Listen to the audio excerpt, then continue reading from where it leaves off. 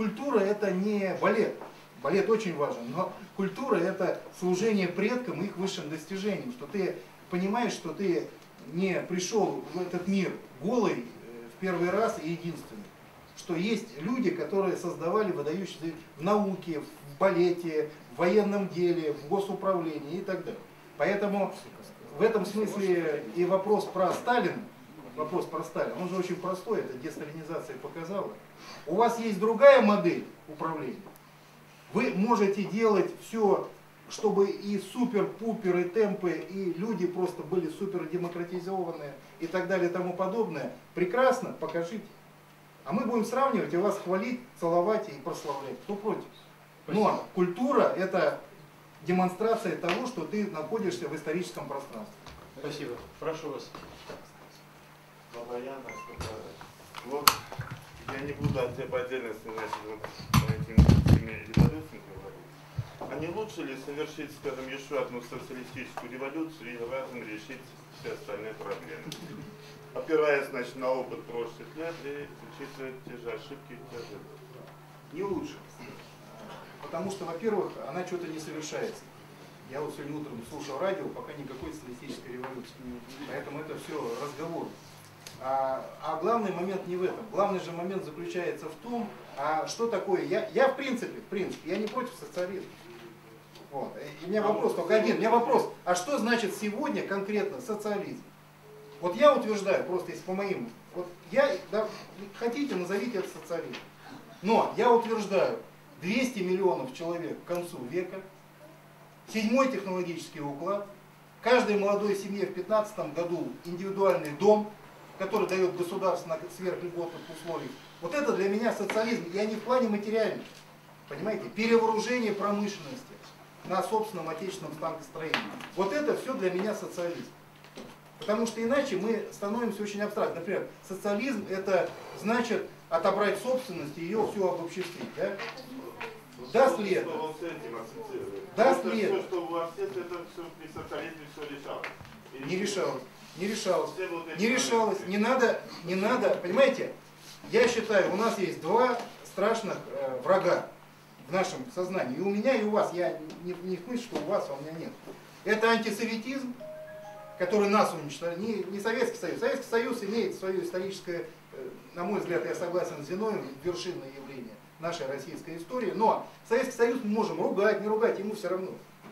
Он все, люди, наши матери, отцы, деды, они все это сделают. Все. Но антисоветизм разлагает нас. Но есть второе состояние, что все было в Советском Союзе. Ну вот возьмем индивидуальные дома. Я все время говорю, Советский Союз был уничтожен дачами. Ведь что такое? Вот я писал книжку «Дом в России» с выдающимся человеком. Он последние пять лет СССР был заместителем э, председателя Госстроя СССР, э, Кривым Александром Сергеевичем. И вот они с Юрием Петровичем Батальным, который был представителем Госстроя, в этой перестройке, они пять лет пробивали постановление Совмина о возможности индивидуального жилищного строительства, и они пробивали, и им в итоге пять лет пробили как-то уже, но вписали не, на неугодие. В нашей стране, где вот точно вопрос не в земле, как в ее формальном количестве, на неугодие. Вы представляете, сколько, если взять 70-е, даже 80-е, 20 лет, сколько человеческой творческой энергии в нас СССР было в эти дачи. Я помню, стоишь кто-то едут дачники туда, кто-то доску везет из Москвы, кто-то еще что-то, кто-то краски удалось Сейчас купить. везут. Да, нет, ну, А дач, другая дача и дом, две большие разницы. конечно. То есть вместо того, вместо того, Хрущев сделал свою строительную революцию. Я к нему очень плохо как к политическому деятелю отношусь, но то, что это получилось, и люди до сих пор понимают, что такое революция, когда они из подвалов вышли в эти, то, что мы сегодня называем пренебрежительно хрущевы, это великолепная вещь. И это было связано с крупнопанельным, быстро возводимым жильем. Все, были построены заводы железобетонных конструкций, то сюда стали штамповать. Лучшие э, бригады штамповали за две недели панельный девятиэтажный дом. Понимаете, это правильно с точки зрения государственного подхода. Но в 70-е годы мы должны были переходить на усадебно-ландшафтную урбанизацию. Понимаете? Мы должны были... Это не проблема. Как Росатом мне старики, мужики говорили, да если бы нам сказали там в 86-м, что вы, Роса, Средмаш, гигантская организация, гигантским потенциалом интеллектуальным, нам сказали бы, спроектируйте там индивидуальные дома, но мы за два года спроектировали, построили бы. Задачи не было, вот в чем проблема. Поэтому нечего, э, уже опять же непонятно зачем, и как-то так обожествлять поздний советский период. Но модель основная, нравится вам СССР, не нравится, это модель, по сути, до конца 50-х годов. Дальше это была инерция. И мы гигантские возможности не используем. Поэтому я к чему это говорю? Я это говорю к тому, что слово социализм, как халва, нам ничего не добавит. Вопрос возникает, дайте мне проект вашего социализма. Вот это мой проект социализма, потому что я считаю, что в России традиционно, традиционно общностно, общественный строй, общественное богатство, работа в интересах общества всегда будет приоритетом, если мы жить хотим. То есть социализм, называйте это социализм. Но давайте конкретный проект. Спасибо большое за вопросы. Мы э, его обсудили. Так, есть вопросы с этой стороны? Ну, хорошо, прошу вас. Значит, Понтус ВИ э, МОИП, Московское общество испытателей природы. Значит, с точки зрения э, проектного государства, смож, можете ли вы назвать сейчас не э, там, 100, там, 200 и прочее проектов, а в виде одного-двух главных системообразующих тезиса сущность вашего проекта? Поясню. Первый главный вопрос – Э, все-таки какое общество мы будем строить. Э, не, можно не отвечать в вопросах пятичленки, шестичленки. Это как раз вы только что показали. Ни капитализм, ни социализм нам не прояснит вопрос. Итак, внутреннее обустройство вашего э, проектного государства. Э, и второй вопрос, касающийся внешнего. То есть Россия все-таки будет как русская цивилизация, или она будет растворяться в мировом пространстве, как сейчас ведет э, политику наше правительство. Спасибо. Вот эти два вещи определите, пожалуйста, в своей компании. Спасибо, хорошие вопросы. Э, значит, я считаю, и я стараюсь это в том числе, ну, чуть-чуть как получается теоретически обосновывать, как получается. Я считаю, что государственность России должна восприниматься, оформляться, продвигаться как мировая держава. Мировая держава – это цивилизационное уникальное пространство. Мы ни в коем случае не должны потерять нашу цивилизацию. Кстати, отсюда, например, мне так важно с Белоруссией, чтобы мы не разрывали связь. Смысл даже не в экономиках и там каких-то ракетных дивизиях и так далее. Это важно. Но это не самое первое. Самое первое – это наше единое русско-российское, евразийское цивилизационное пространство, наша уникальная тысячелетняя цивилизация. Для меня мировая держава – это государственность, которая способна образцово-показательно решать мировые проблемы. То есть вот что такое мировая держава. И безусловно, строится, а что значит образцово-показательно может показать? У нее есть единственный ресурс, это ее тысячелетняя история, ее цивилизационность. Потому что решить мировую проблему, например, деиндустриализацию, мировая проблема. Демография это мировая проблема. Ну, мы говорим там, про, а какая разница там, Германия там и так далее. В принципе, мировая проблема, люди тоже отказываются жить. Но мы можем образцово-показательно решить такую проблему и показать это миру на своих собственных основаниях. Только. По-другому ничего не получится. Поэтому цивилизационное основание, база – это все. С точки зрения формационного, так скажем, или типа э, общественной системы, э, мне представляется, что мы должны разрабатывать теорию общества развития. Общество развития, вот здесь слово развитие очень путается. У нас даже часто говорят, что это, например, вот модель людоедская, о которой мы говорили, что это не совсем подходящая модель развития и так далее. Но развитие – это э, кардинальное структурное усложнение, это максимальный выход в новую полноту бытия. И говорить про эти людоедские модели, что это другой сценарий развития, что там вот по Гайдару был сценарий, это сценарий деградации. Поэтому развитие – это выход в новую полноту сил. И в этом смысле общество развития – это там, где мы строим основной акцент, вот заканчиваю здесь на цивилизационности и про антропологию, и про государство, мы строим основное на человеческой способности. Потому что на самом деле, я, вот у меня сейчас ощущение, вот абсолютное ощущение, что проблема даже не в этих людоедах, там, не в антинародном режиме там, Гайдара или еще кого-то, да, все. А проблема в том, что не могут. Не могут. Понимаете, ну не могут просто. В этом трагедия, поэтому нужна совершенно другая антропология, совершенно другие способности, другая мощь сознания и действия. Спасибо. Значит, я констатирую, что у нас до конца осталось 45 минут. Мы сейчас э, немножко перебираем по вопросам, но мы этот круг закончим. Э, представитель партии «Правое дело» э, задал свой вопрос и покинул, так сказать, площадку. Это сэкономит нам время на выступление. Так, прошу вас. Э, а, а, назовите себя, представьтесь. Барыкин Анатолий Степанович, клуб субъектов инновационного технологического развития, это ИНИОН и вот научная общественность по проектам.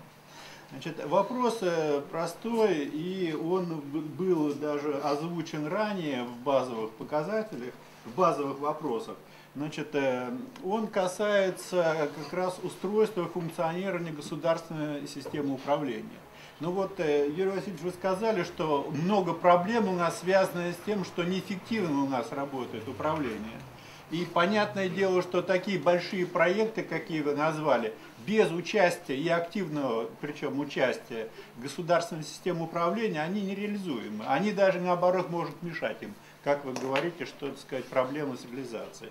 И отсюда вопрос простой вот нынешняя система управления, она э, годится для реализации или нужно ее изменить? Если изменить, то каким образом? То есть какое устройство и функционирование э, этой системы государственного управления вы предполагаете в проекте? Спасибо. Ну, на мой взгляд, главным надо изменить, что отсутствует проектно-целевой форма мышления. То есть в этом смысле отсутствует, просто ее надо навязывать, я ничего другого не вижу. То есть в этом смысле все разговоры о власти, а это все равно вопрос власти в том числе, а, все разговоры о власти, они от лукавого, потому что о власти не говорят, власти реализуют. Берут само собой, но главное, что ее реализуют. Поэтому можешь – реализуй, не можешь – молчи, с моей точки зрения. Поэтому а, и единственный вопрос, проблема не в том, вот представьте себе, ну я условно, я не против кого-то, да? Ну, вот, например, правое дело наберет 90%, или КПРФ наберет 95%, да? И представьте себе, вот верхушка КПРФ, я знаю ряд людей, они мне очень симпатичны, да? Или правое дело, там тоже есть симпатичные люди. Вот они придут сегодня в правительство. Они 95% сформируют правительство, ну представим себе, да? Что изменится? Что, ну, кто-то, может быть, на первых порах или долго будет почестнее, здорово допустим, да?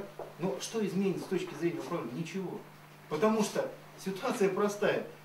Люди говорят там антинародный режим, да? Или еще что-то. Ну, о чем, а как нужно? Всегда вопрос основной, все равно, как нужно. Пока ты не покажешь, как нужно, не начнешь реализовывать, не о чем говорить. Поэтому, на мой взгляд, я сейчас повторяю, мы находимся в страшной ситуации, прошу прощения за это слово, э, властно-политической импотенции. Понимаете? Проблема не в том, что, скажем, ну, вот Игорь Иванович Шувалов, да, вот он сидит и думает, как бы 70 миллионов людей потравить в стране, как бы мне заработать денег и их убить и так далее. Но никто так не думает, вот так вот, никто не думает. Да, там где-то лень, где-то не... Никто не знает, никто не знает. Понимаете? Тот же Шувалов, как пример конкретный. Вот посмотрите, я, я с удовольствием читаю стенограмму правительства, я очень серьезно отношусь ко всем. Вот два года прошло с эпопеей, когда начали шуметь про моногорода. Правильно начали шуметь, здорово и так далее. Да? Правда, там столько ерунды наговорили. Но моногородам дали задачу представить проекты, планы инвестиционного развития. Каждому моногороду. А моногород э, более половины до 30 тысяч человек. Это так, да. То есть это мэр города, ему дали, у него 30 тысяч человек, понимаете? Ему дали план вместо индустрии, которую 30 лет делал Советский Союз, вместо этого придумать, как ему город кормить. Понимаете? Дали ему полгода там, или три месяца. Он... И э, в итоге ждут, все ждут, потом раз собираются на правительство и говорят, Владимир Владимирович, у нас, говорит, большая часть не прислала планы. Владимир Владимирович, что такое? Три дня даю, чтобы планы были. Ну, через три дня планы появились. Нормально.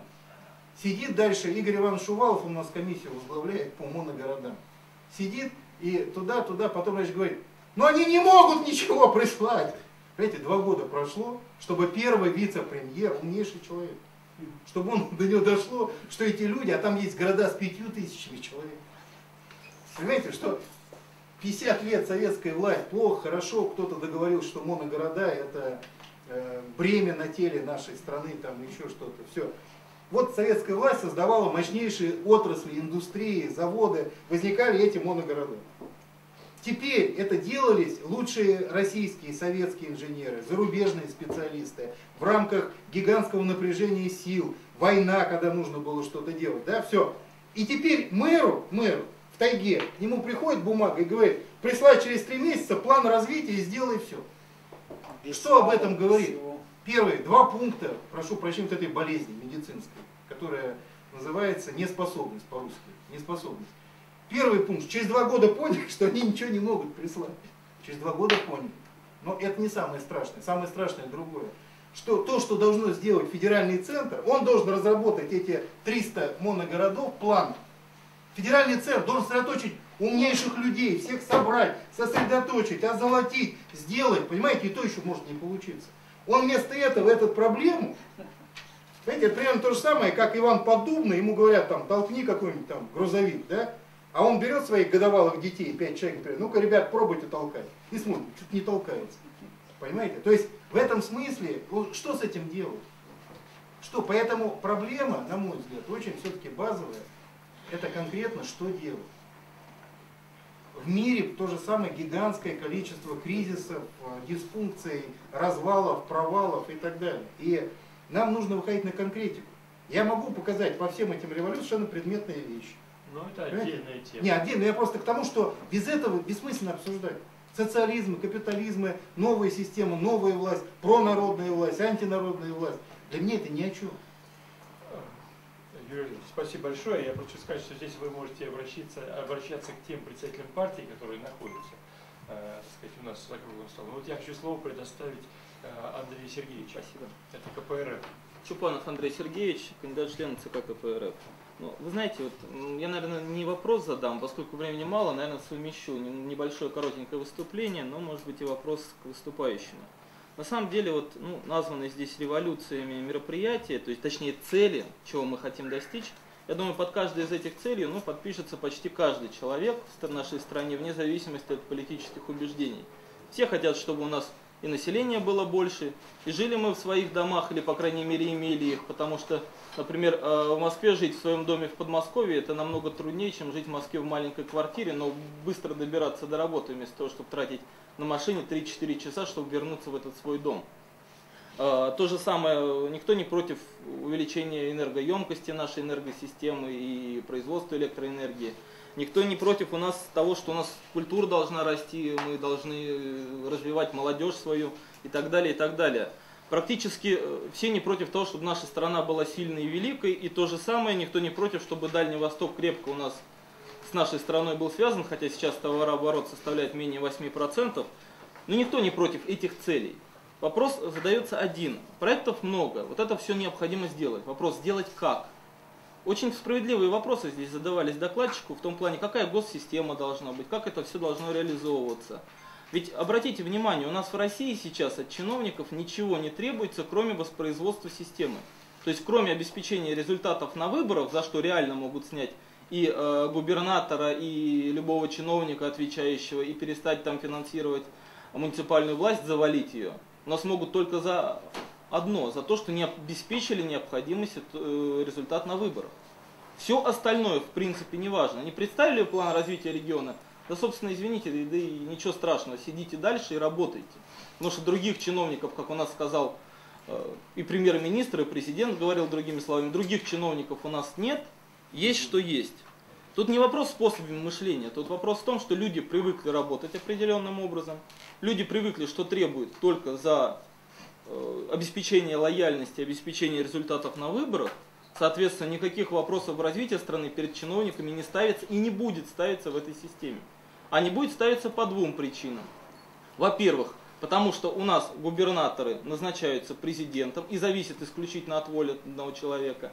И, во-вторых, потому что муниципальные власти у нас, ну, хотя экономически зависят от государственной власти, но тоже, в принципе, вроде как избираются населением, точнее, политтехнологически решается задача переизбрания, и они знают, что если они не изберутся на следующих выборах, практически с гарантией 80% против них будет возбуждено уголовное дело, и они сядут, если они не обеспечат свое переизбрание. Поэтому и две задачи возникают. Это переизбрание муниципальной власти, ну и обеспечение лояльности вышестоящей власти, чтобы переназначили. То есть никому в принципе в стране, в хозяйстве ничего не нужно. И не будет нужно, пока будет оставаться эта система. А ключ здесь, во-первых, это наша конституция, которую необходимо менять. А то у нас конституцию менять только тогда, когда нужно продлить полномочия власти кого-либо а забывает о том, что в Конституции у нас нет ни права на бесплатное дошкольное школьное образование, его забыли просто в 93 году. У нас нет э, права на труд, который у нас имеется в э, пакте международном о социальных экономических правах, под которым Советский Союз подписался и под которым который продолжает действовать для России. Мы до сих пор входим в Совет Европы, а, который запретил принудительный труд, поэтому ничего удивительного, что в тюрьмах у нас люди не работают. И у нас нет лечебно-трудовых профилакториев, которые запрещены фактически благодаря тому, что мы входим в Совет Европы. То же самое, а, поэтому мы постоянно, Российская Федерация и платит а, тем, кто жаловался в Европейский суд по правам человека, потому что система у нас правосудия не работает, с одной стороны, а с другой стороны, практически 60% жалоб сейчас вот за последний год подано из Российской Федерации в Европейский суд по правам человека, а остальные это все страны ЕС.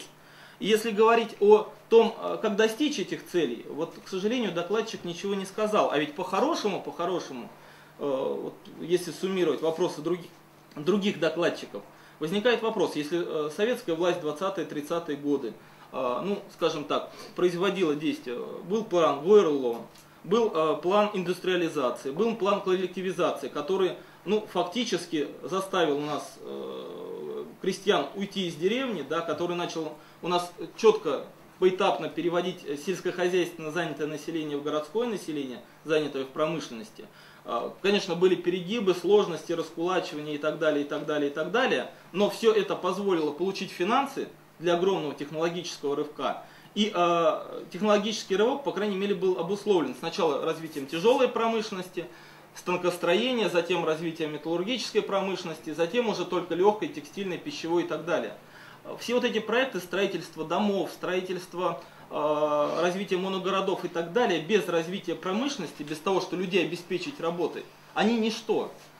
С чего у нас люди будут рожать, если они не уверены в завтрашнем дне, потому что, во-первых, нет нормальной зарплаты, нет работы все эти проекты ничего не стоят без плана того, как это все должно реализовываться. У вас есть предложение? А, и давайте, вопрос, сказать, Да, то есть, понимаете, вопрос, собственно, такой. Проекты все хорошие, под любым из них можно, можно подписаться. Можно вопрос, как, да, как можно этого достичь, как вы видите этого? Понятно. Ну, Спасибо. Андрей Сергеевич, мне кажется, я вижу две очень предпосылки такие серьезные, которыми я не согласен, которые, на мой взгляд, очень опасны и ошибочны. Вот первое, вы говорите, все хотят, да? Да. А, никто не хочет. Вот возьмем партию КПРФ.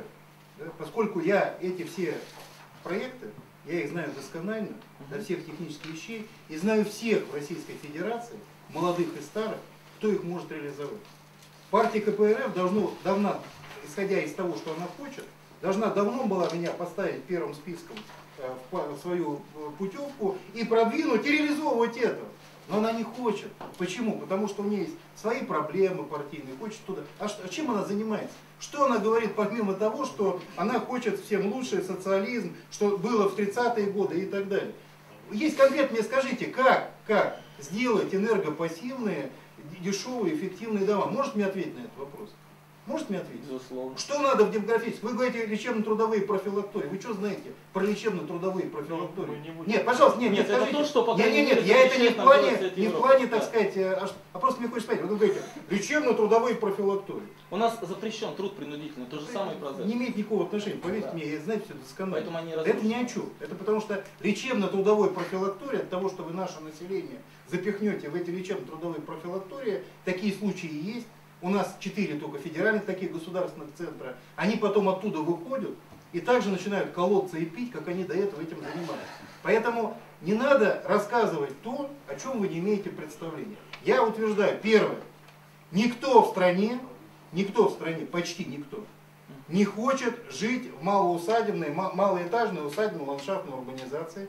Никто на это ничего не приложил. В частности, КПРФ пяти минут за последние 10 лет на эту тему не затратил, ничего сделал.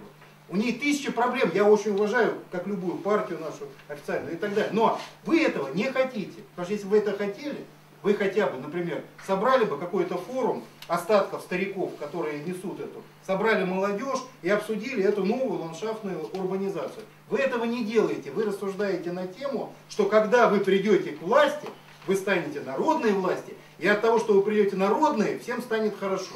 А что будем делать конкретно, что пить, есть и в каких домах будем жить, вы не говорите. Поэтому первый момент.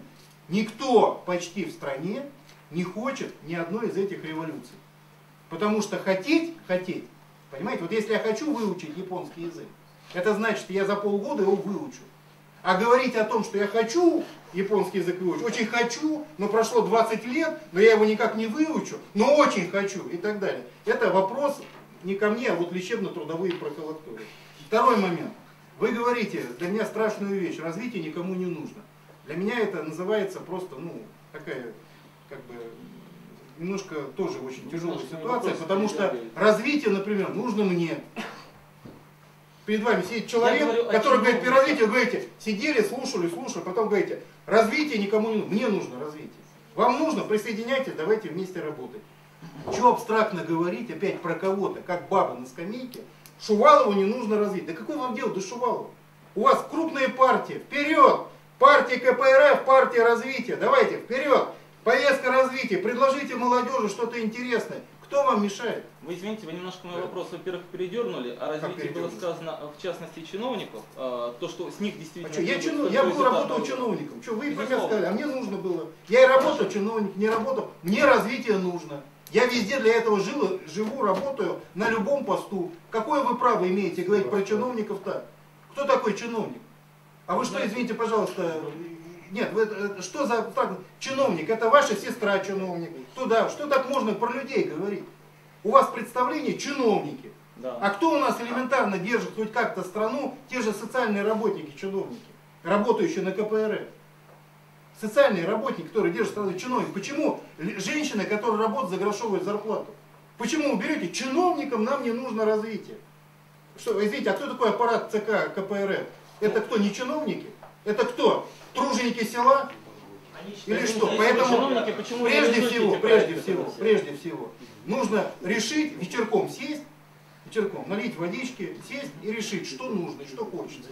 Но Мне нужно развитие, я его сделаю. Отдельно, я чувствую, что есть тема для переговоров э, с э, КПРФ, но я хочу передать э, сказать, вопрос, задать за деревья.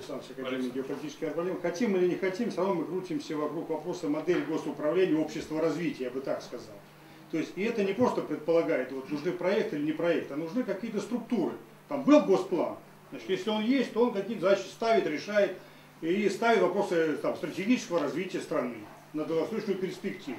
Кто это сейчас? Никто не разрабатывает, там рыбу ловят, они нам показывают, а стратегии развития России нет. Там какие-то критерии оценки управленцев разного уровня совершенно другие. То есть модель госуправления, она должна быть прописана каким-то Поймите, в чем проблема. У нас проблема, что как, что добились э, горе-демократы, у нас стало информационное общество. Вы рассказываете все, как будто вы сидите в телевизор, смотрите. Вам, вам одни пиар-технологи, вам показывают, как ловят рыбу, как амфоры достают и так далее.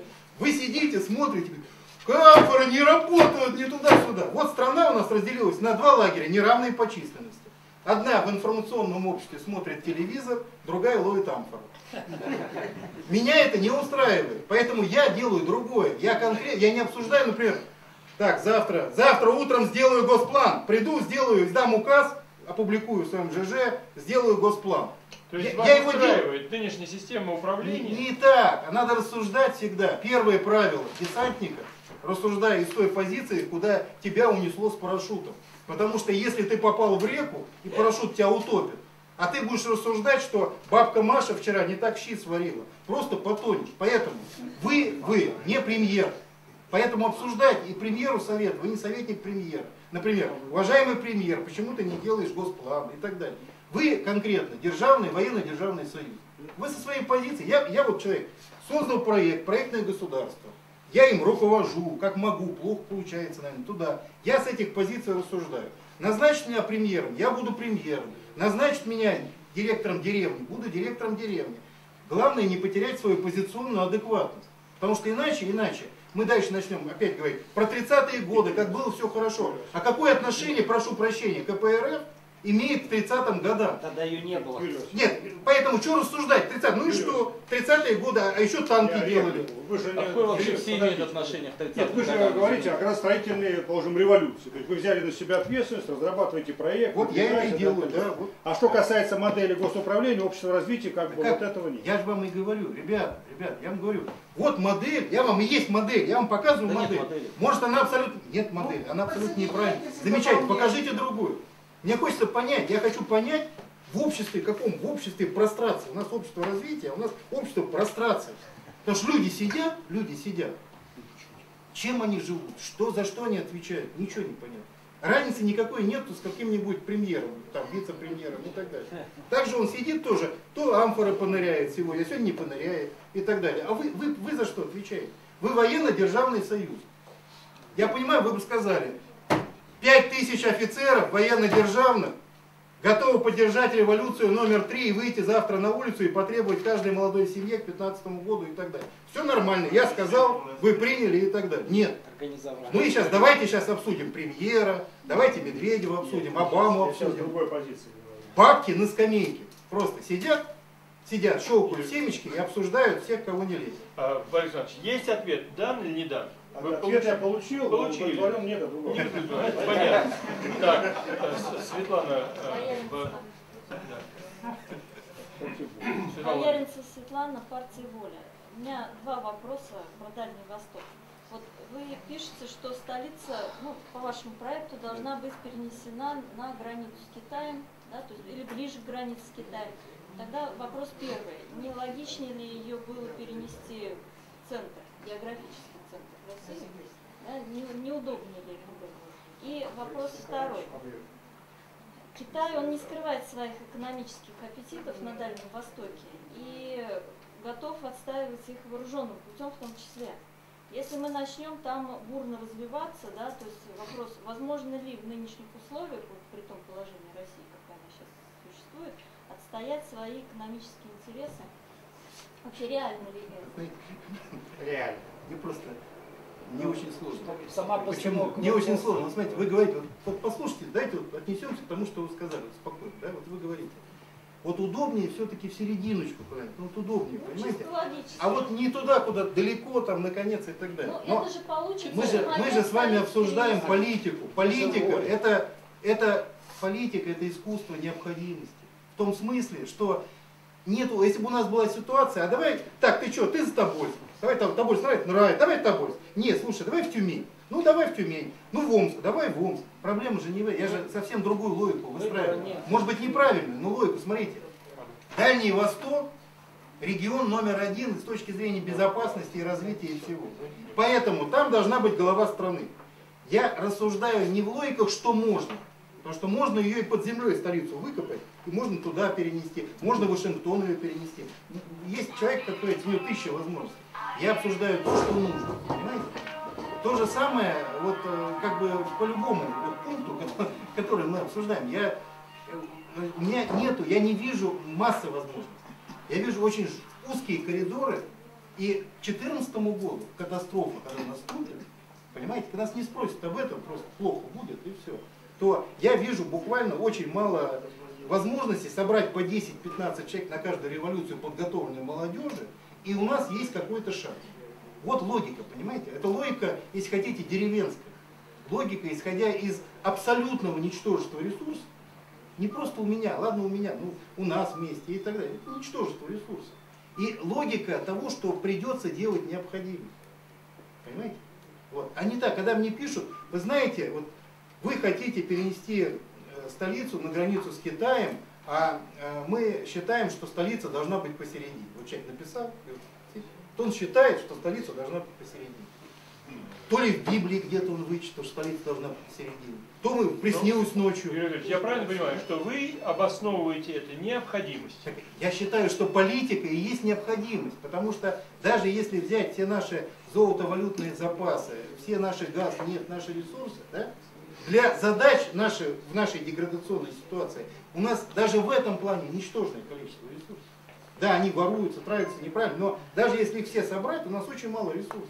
У нас главный ресурс – время и люди. Мы потеряли молодежь в профессиональном плане. Мы среднее поколение просто нет. Зайдите на любой завод, в любую серьезную организацию. Ведь Средний. основное население у нас на европейском Да, да, Пока. в чем? Пока. Теперь Ну, дальше пока. по поводу Китая. Но этого я тоже не хочу даже это как-то комментировать, потому что в этой логике лучше всего на Северный полюс правительство перенести, желательно его в землю во льды зарыть. Тогда. Но там может быть потеплее. Если у нас задача, мне говорят, а если Китай стрельнет прямо в правительство?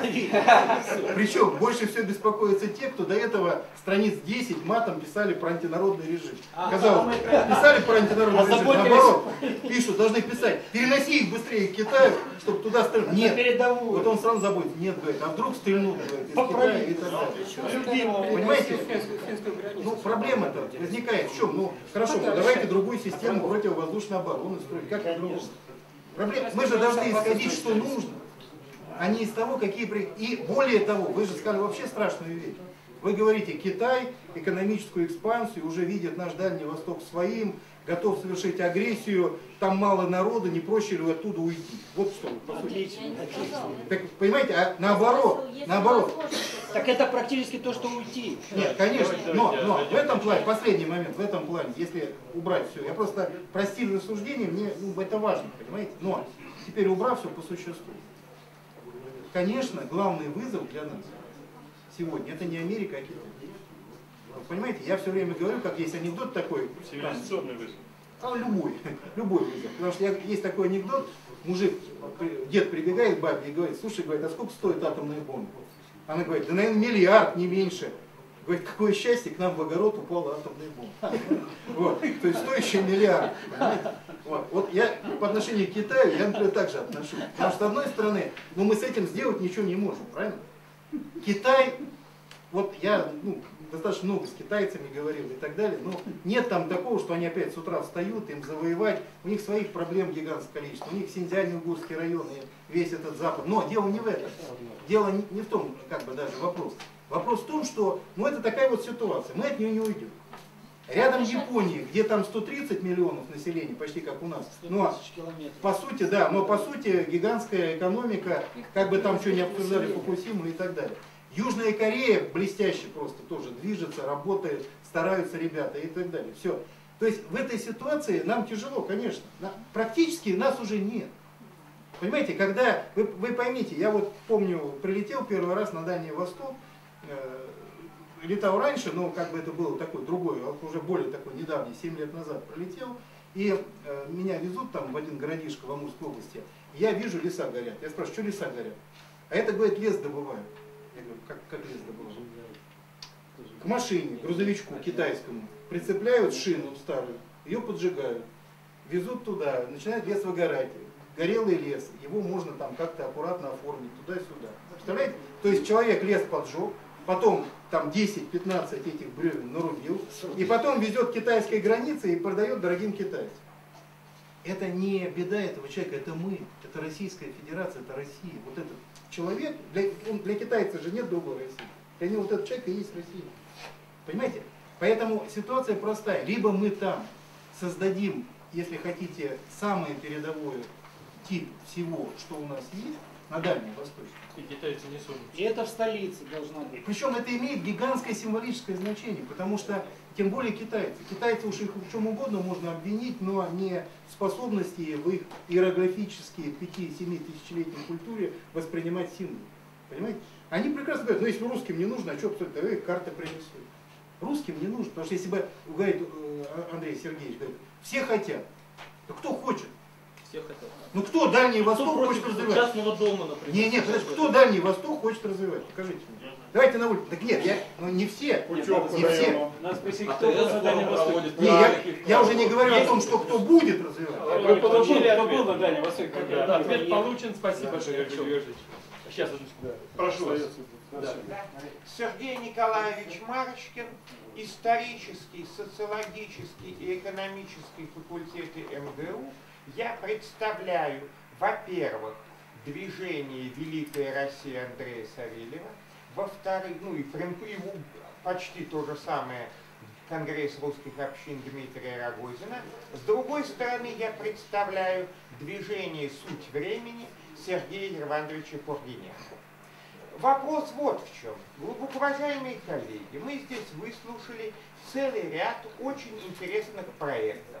Ну, я сам вместе с покойным Владимиром Леонидовичем Махначем, который был сначала 15 лет доцентом Московского архитектурного института, а потом 10 лет профессором высшей школы экономики, занимались детальной разработкой подобных тем. В чем-то наши выкладки совпадают, в чем-то расходятся. Но вопрос не в этом. А вопрос в том, что любой проект остается мечтанием до тех пор, пока за этим проектом не стоит субъект. То есть главный вопрос – вопрос о власти. Власть – это полномочия и ресурсы для принятия решений и их приведения в жизнь.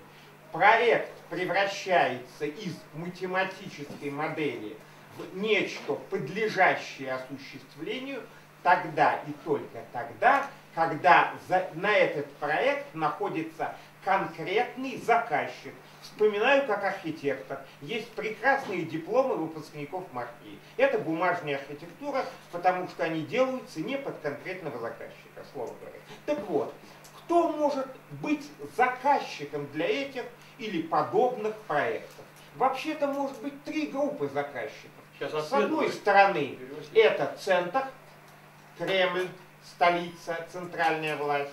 Затем второй уровень, это, пожалуй, местные власти, губернаторы, они разные.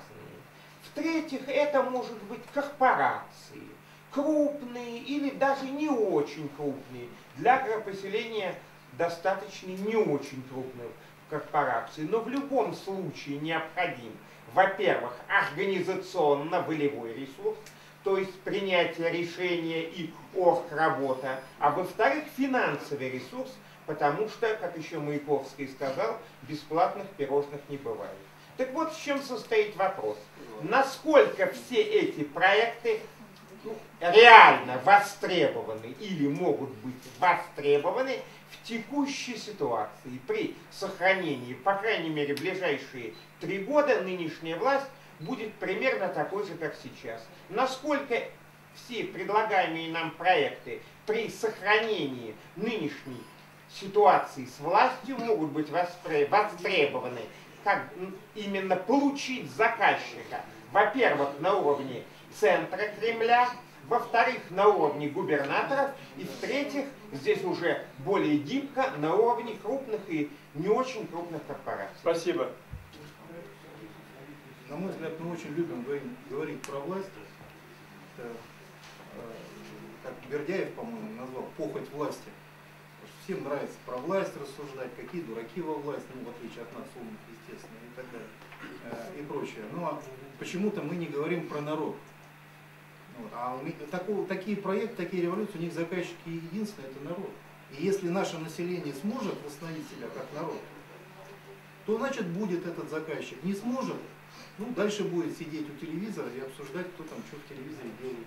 Поэтому, на мой взгляд, мы, я знаю массу людей, массу людей, которые являются реальными заказчиками. Вот у меня, вот Галина Ивановна, вот она мне конкретно сегодня заказ сказала. Мне нужно срочно урбанизацию, стимулирование трехдетной семьи и так далее. Вот мой заказчик сидит. И для меня это самый ценный заказчик. Потому что это человек, нравственный, народный и так далее. Вот что еще, что еще нужно? В каком губернаторе, который до этого рассказывал, что их назначают? Что надо для сделать? Какой? Нужно работать и нужно эти проекты продвигать. Нужно самой человеку. Да нет, нужно сегодня, да нет, нужно прийти сегодня Геннадию Андреевичу Дюгану и сказать, Геннадий Андреевич, мы такой ерундой занимаемся, вместо того, чтобы серьезно начать заняться. Нам нужно предвыборную повестку, не говорить об абстрактном антинародном режиме, который всем надоел уже. Понимаете? А нужно начать серьезно проекты. Поэтому я предлагаю, вот, например, Виталия Юрьевича и Юрия Васильевича посадить, пусть они будут у вас проектным штабом, если вы их уговорите, другой вопрос и прочее. Вот, вот о чем надо говорить. А ситуация это в чем? Все функционируют в своих каких-то пространствах, очень мелких, не имеющих отношения ни к народу, ни к чему. Но все друг друга обсуждают и гадят. Вот и все. Вместо того, вместо того, не надо власть обсуждать. Еще раз повторяю, власть обсуждают те, кто к власти никогда никакого отношения иметь не будет. Я власть так обсуждать не могу. Во власти очень разные люди. Я формально, если взять мою биографию, меня тоже можно представителем антинародного режима назвать. Пожалуйста. Проблема в другом. Проблема в том, что нужно пробил... каждый Вы что думаете, в 1937 году было легче там Т-34 продвигать? Или Королев, который чудом остался живой на, на Колыме? Вы думаете, он бы, так сказать, чуть-чуть лево, вправо, там, расстреляли бы лишних 10 человек и так далее? Что за фантазии строят? Все время у нас прекрасная еще ситуация. Мы еще накормлены, сыты. В центре Москвы, тут в прекрасном месте говорим. У нас прекрасная ситуация, а мы ничего не можем. Вот в чем исходная точка. Обсуждаем всю эту власть, Кремль, там, пятое, десятое. А что мы-то можем? Что можем? Покажите ресурс. Народ субъект. Народ, народ, народ субъект, субъект заказчик. и, э, Пожалуйста, где народ? Да. Виталий, можно Так, значит, мы уже прошли по э, кругу. А, вы- Да, у нас осталось 10 минут. 10 минут у нас осталось. А, я, а, а еще надо, чтобы, так сказать, подвел какой-то итог э, У меня Юрий краткий. Васильевич. Вот, чтобы подвел какой-то итог. Значит, Галина Ивановна, существенный ваш вопрос? Да, как заказчику. Вот Ну. вполне конкретно, и КПРФ здесь и предвыборная кампания. Ну, случай просто из моей семьи. Взята ипотека, молодая семья. И они говорят, пока не расплатимся, о детях мы не можем говорить. Почему бы банку, причем вроде по Сбербанку есть эта программа, а по другим банкам, в котором взять кредит, этого нет. Почему бы банку при рождении ребенка не отложить выплаты? Потому что если не будут производиться выплаты 30 тысяч в месяц, то квартиру у тебя, Димул, отберут. Родился ребенок, мать не работает, она и есть та, которая купила, ну она там очень квалифицированный бухгалтер, вот такая зарплата. Ну и, и пусть ей отложат эти выплаты на столько лет, пока она не работает по закону. С ребенком сидит и не выплачивает, и квартиру у нее никто не убирает, не отбирает. А под- пол- вполне это опасность, что квартира будет отобрана, потому что они не смогут выплатить. Вот КПРФ. предложение Да. должно быть как инициатива э, законодательная каким-то Да, образом во- реализована. причем во всех банках, не Сбербанк, который вроде бы это сам делает, а все банки, кто дофинансирует ипотеку, это должно быть Да, но кто должен покрыть э, банкам, должен покрыть э, их э, э, ущерб от этого мероприятия. И это может сделать только государство. Только государство, конечно. Только государство. И э, если говорить о том, чтобы поженить проектное государство Юрия Васильевича с э, энергией масс, которая сконцентрирована на КПРФ, то КПРФ, я прошу прощения, то КПРФ должна в политической области обеспечивать вот э, все эти вещи, а э, Юрий Васильевич с движением должен сконцентрироваться на реализации этих проектов. Как только затык где-нибудь административный или еще какой-нибудь встречает Юрий Васильевич, значит, тогда политическая сила должна развернуться и э, завалы э, преодолеть. Ну, понятно, что я говорю про ипотеку, да, про, про Какие ипотеку, деньги? которую берет молодежь, это сейчас масса людей. Это отдельная тема, давайте. Денег Значит, э, я, я что? Вот значит, сейчас... Да, нет, нет, нет. Я, я прошу прощения, у нас времени осталось 7 минут. Э, Юрий Васильевич должен подвести итог. И э, я тоже должен подвести итог. Так я нарушу э, наш порядок. И сейчас скажу, откуда возьмутся деньги на это, на все. И с этим... Да, нет, не сложимся.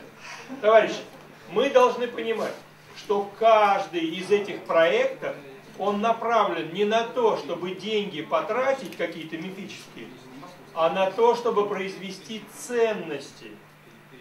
И это повод, производство ценностей, повод для эмиссии финансовых инструментов. Частности, Вот и все. Оттуда и деньги. Вопрос, кому Оттуда деньги. достанутся эти ценности, об этом мы не говорили. Главный вопрос мы вообще не говорили. Да, да.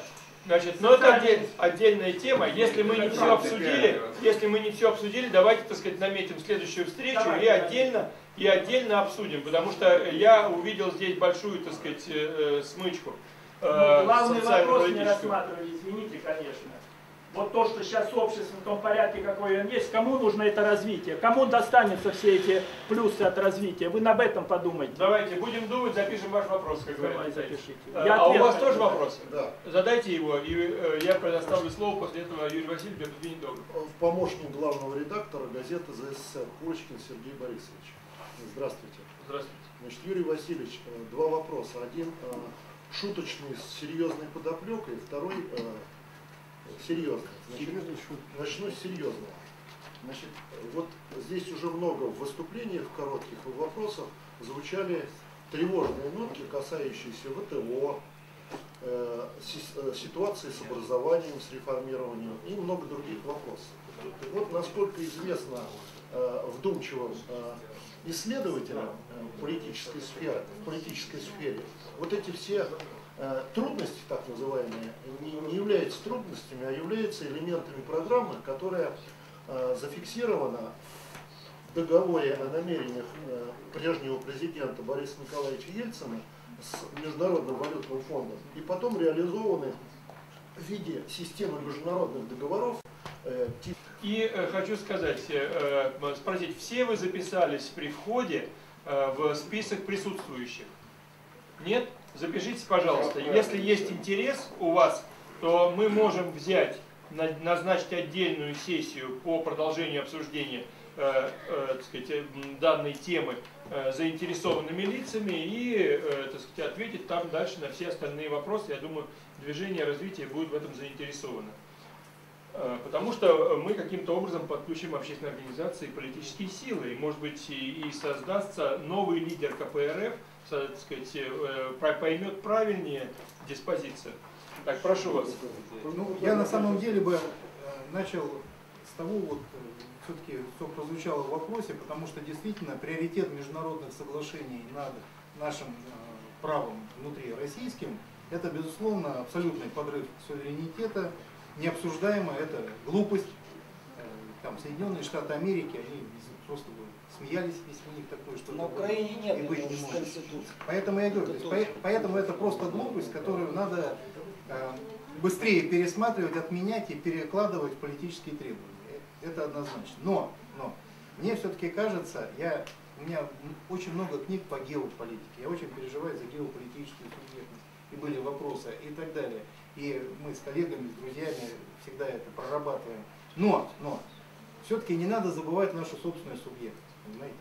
Вы поймите, я же, может быть, специально где-то слишком резко, полемически, там, для задора и прочее говорил, но я-то уверен, что здесь все присутствуют единомышленники в главном. Нам нужна страна, нам нужно развитие, мы думаем о своих детях, внуках, и мы хотим нормальной жизни. Поэтому в этом смысле вопрос-то основной, как это переложить в технологию действия и движения. Вот в чем проблема. И я вижу, что здесь надо, прошу прощения за цитату, мною неуважаемого Михаила Сергеевича Горбачева, но начинать надо с себя. Мы просто должны исходить с того конкретно, а что мы предлагаем действия, что мы отвечаем. Понимаете? Поэтому Э, я просто друг, я в этом плане действительно не, не, не согласен с тем, что все хотят вот того, что я говорю. Если предметно брать, очень мало. Либо не понимают, либо масса людей не хочет.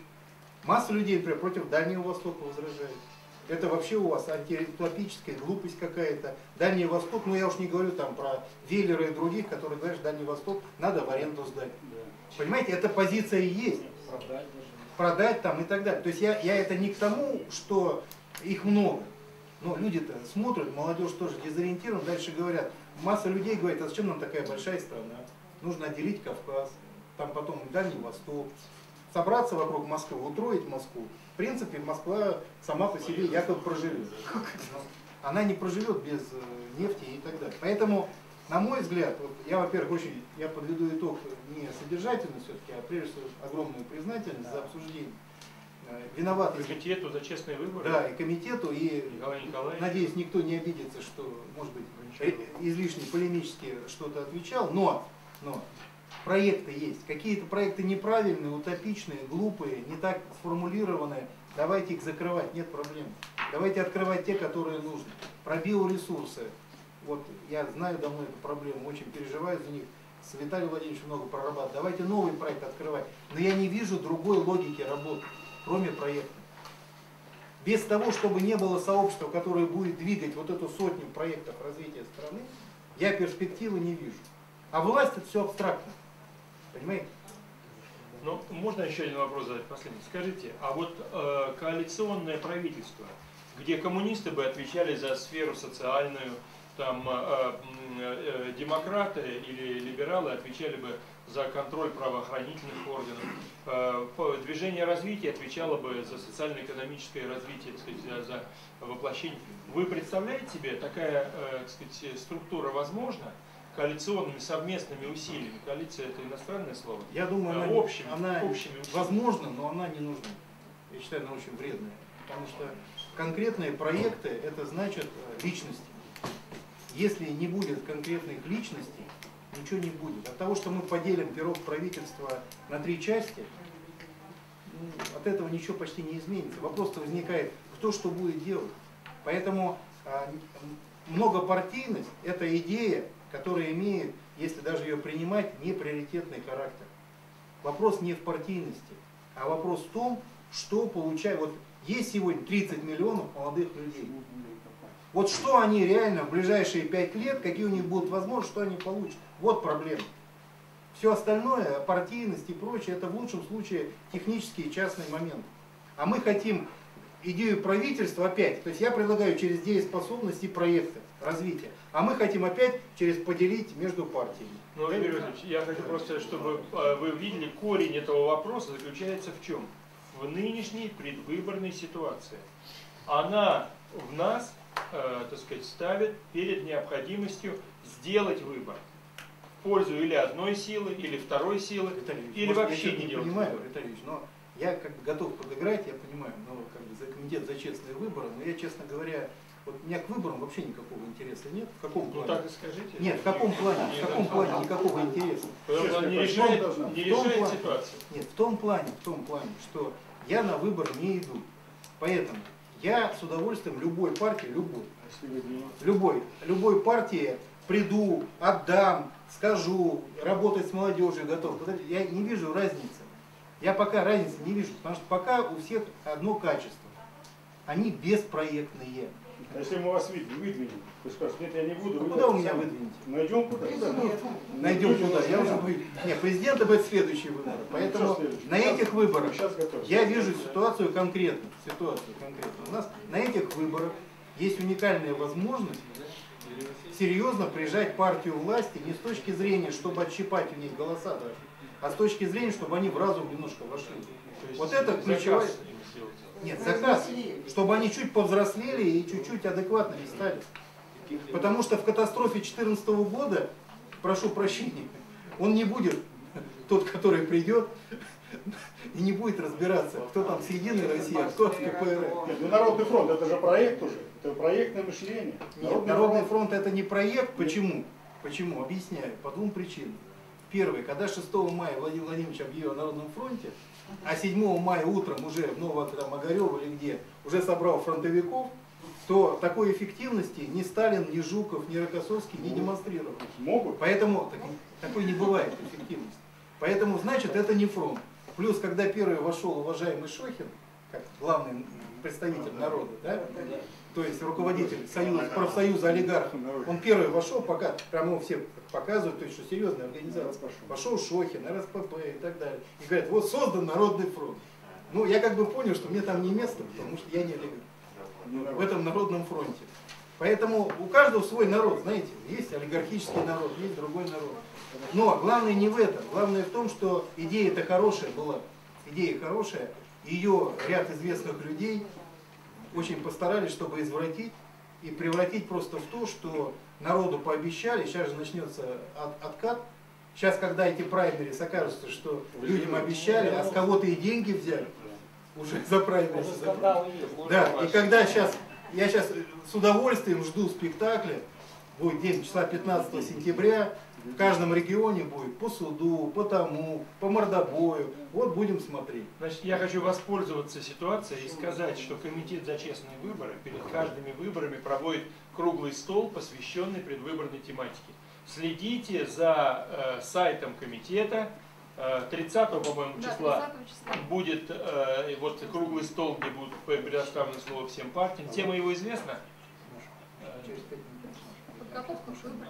Да, тема его подготовка к выборам. Съезды партий. Так что участвуйте э, в общем нашем процессе. Спасибо за внимание. Давайте Спасибо поблагодарим.